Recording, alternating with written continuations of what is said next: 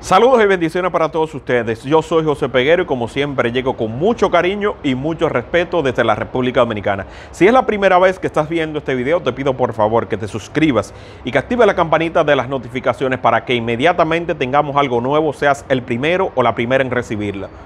Hoy vamos a tratar varios temas. Tenemos los nuevos diputados ligados al mundo del entretenimiento. Tenemos los nombramientos anunciados a futuro por Luis Abinader en el que se incluye a Milagros Germán y también tenemos los millones que genera Alexandra Jactu, esta expareja de Mozart La Para, a través de las ventas en las redes sociales. Inmediatamente vamos con ese, que es el más picante y sé que es el título del video y el que todos ustedes inmediatamente quieren tratar. Pues sucede que Alexandra Jactu se refirió a las ganancias que está obteniendo a través de la tienda en línea que tiene desde Instagram, donde vende ropa para mujeres y en el que aparentemente le ha ido muy bien, lo cual nosotros valoramos de forma positiva. Pero la noticia es lo siguiente. Ella afirma que genera entre 300 mil y 400 mil pesos mensuales solamente por las ventas de lo que tiene en Instagram. Pero además de esto, que ella se está ganando entre 3.500 y 5.500 dólares por cada publicación que hace desde esta misma red social. Eh, otro dato interesante que ustedes deben tomar en cuenta de todo eso que ella ha manifestado es que en caso de que ella se estuviera ganando 300 mil pesos diarios, al mes estaría generando unos 9 millones de pesos y al año se estaría embolsillando unos 108 millones de pesos.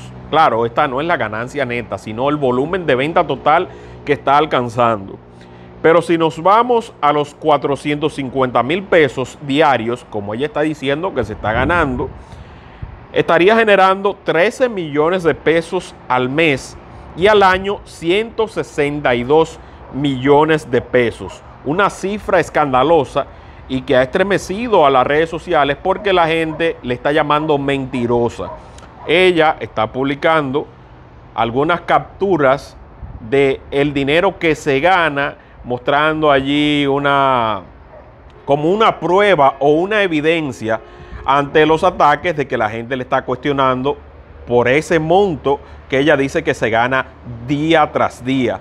Lo de que ella cobra entre 4.500 y entre 3.000 y 5.500 dólares por cada posteo en Instagram se lo puedo creer porque hay personas que ciertamente tienen ese dinero y se lo pagan y se lo han pagado. Esto no es mentira. Pero la parte dudosa es que ella esté generando hasta 300 mil pesos en un día o 450 mil pesos en un día. Es cierto que tiene un amplio volumen de seguidores, estamos hablando de 4 millones, pero ¿qué porcentaje de esos seguidores está ingresando a los enlaces y está haciendo esos pedidos. Yo entiendo que como evidencia, además de esa captura de pantalla que ella presentó, debería mostrar el tema de la cuenta bancaria.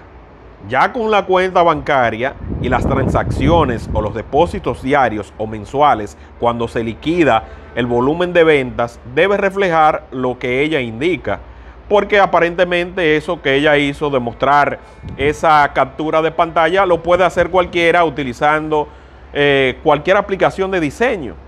O sea, cualquiera de nosotros agarra PowerPoint, por decir un caso, u otra aplicación y de repente pone dos o tres cantidades allí y ya dice que eso se genera. Entonces tenemos casos a nivel internacional que han sacado a figuras relevantes de listas de millonarios luego de comprobarse de que ellos mismos estaban abultando, estaban mintiendo y estaban engañando simplemente para que lo colocaran allí y vender la idea de que son muy buenos estrategas, de que son adinerados, de que son ricos, porque la riqueza trae riqueza. El hecho de que alguien se venda como que es millonario le va a abrir las puertas dentro de un círculo que quiere conocer de esa riqueza y le va a abrir muchas puertas también dentro del mundo del entretenimiento, del mundo de la política y sobre todo logra un gran impacto en la mente de las demás personas. Y yo entiendo que quizás eso es lo que ella está haciendo. He visto toda clase de burlas eh, de si ella está haciendo esta clase de actividades por despecho, de si no supera todavía el hecho de que su ex compañero le abandonó, que terminaron la relación, etcétera, etcétera. Pero lo cierto es que tenemos esa situación de Alexandra. Vamos ahora a dar paso a los nuevos funcionarios designados a futuro, porque todavía está el gobierno de Danilo Medina, el cual culmina el próximo 16 de agosto. Pero estos nombramientos se están haciendo para que en medio de la transición los funcionarios que están y los que vienen, entonces inicien esa relación para que la entrega sea mucho más fácil. No es que esta gente va a entrar ahora inmediatamente porque Luis Abinader es simplemente un presidente electo y deberá esperar al próximo 16 de agosto para asumir las riendas de la República Dominicana. Entonces, eh, Milagros Germán fue designada como directora de comunicaciones y vocera de la presidencia. Milagros respondió lo siguiente, un honor para mí, señor presidente, gracias por el voto de confianza. Eh, el Ministerio de Educación estará siendo asumido por Roberto Furcal, su coordinador de campaña. También se anunció a Milagros Ortiz Bosch como eh, quien tendrá a cargo la dirección de ética gubernamental. Esos son los nombramientos que está haciendo el día de hoy Luis Abinader eh, y los dio a conocer a través de las redes sociales. Me gustaría saber qué le parecen. Milagro Germán es conocida ampliamente como la diva, pero sobre todo como una, una mujer que ha batallado contra el Partido de la Liberación Dominicana de una manera muy fuerte. Estamos hablando de que se especula que en una oportunidad pudo ser víctima también de esa mano del gobierno, donde todos sabemos lo que ocurrió con su programa de televisión, que pasó de presentarse todos los días a las 10 de la noche para convertirse en un programa semanal, producto de ciertas presiones que supuestamente estaba ejerciendo el gobierno. Bueno, pues ahora tenemos a Milagro Germán integrada al gobierno de Luis Abinader. Entiendo que ella puede hacer una buena gestión, puede hacer un buen trabajo, sabe de comunicación y sobre todo necesitamos servidores públicos a los cuales nosotros podamos reclamar en caso de que se equivoquen. Y entiendo yo que a pesar de que va a asumir una posición en el Estado, Milagros no es de las mujeres que va simplemente a estar allí como una servil. Si hay algo que esté mal, obviamente ella no lo va a respaldar porque es una mujer de muchos principios. Así que un abrazo para la diva Milagros Germán, que la quiero muchísimo. Rápidamente vamos al otro tema.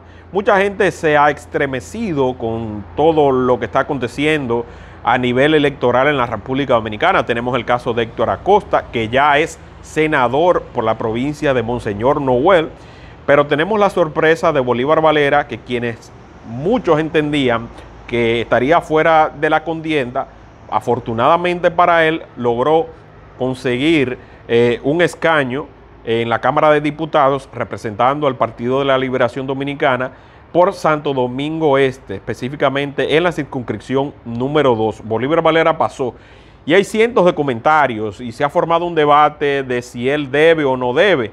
Lo que yo siempre digo es lo siguiente, todos tenemos el chance de participar en la política, pero no todos quieren la parte que conlleva la parte negativa de lo que es la política, del enfrentamiento, de los señalamientos públicos.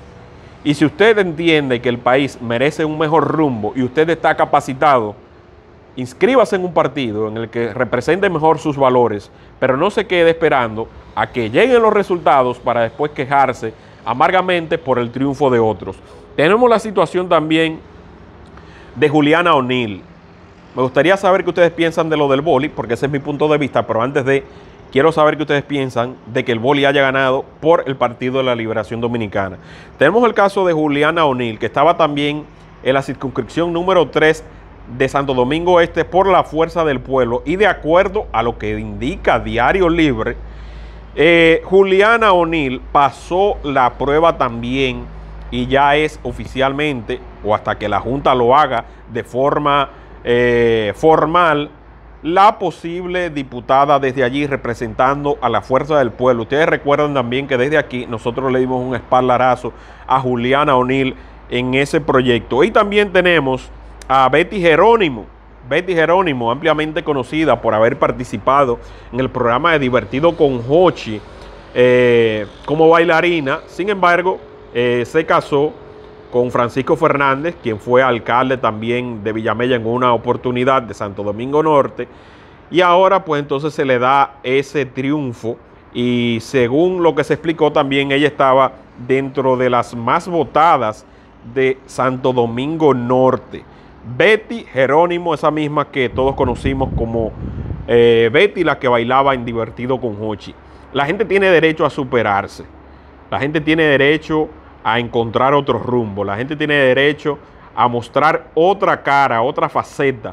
No nos podemos pasar la vida haciendo lo mismo, esperando que cuando cambiemos de rumbo, la gente llegue con pedradas, llegue con tiros y llegue a atacar la moral de cada uno de nosotros.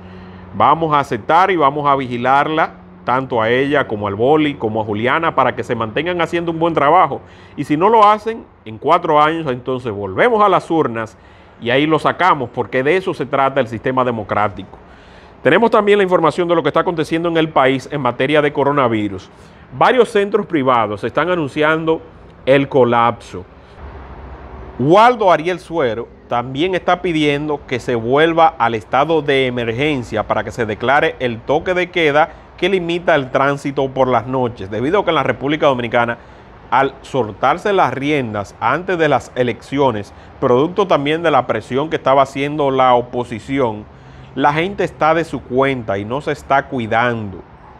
El hecho de que sigan restaurantes abiertos, de que algunos eh, centros de diversión estén abriendo también de forma clandestina, que la gente esté haciendo su vida como que aquí no pasa nada, incluso hasta en lugares eh, públicos sin utilizar la mascarilla, más lo que ocurrió en las elecciones, previo a las elecciones, las aglomeraciones con ese dinero y esas ayudas que se estaban entregando, esa congregación, todas esas personas, eh, toda esa masa moviéndose, ha dado el problema de que se están contagiando más personas y los centros privados ya están gritando de que pudiera llegar un colapso. Pero hay que decir algo, los centros privados no tienen tantas habitaciones destinadas para tratar pacientes con coronavirus.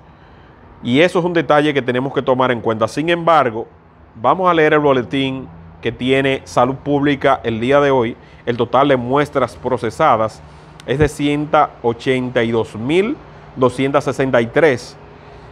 En este boletín, que hasta ayer reflejaba esos datos, se realizaron 3.425 pruebas PCR, confirmándose 41.915.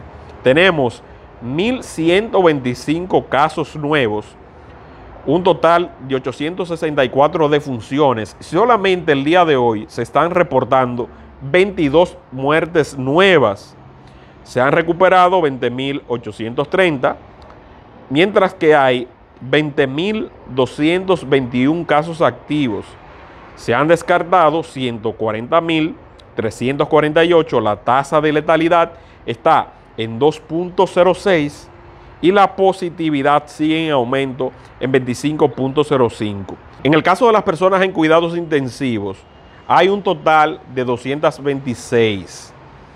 Tenemos en el Gran Santo Domingo un 46.02 de ocupación 33.63 en Santiago y 13.27 en la provincia de Duarte. Esa es la información, tenemos que cuidarnos porque no sabemos hasta dónde va a llegar esta situación en el país. Y ya se está diciendo que la gente pudiera ser atendida incluso hasta en los pasillos debido a que no habrá camas suficientes para todos.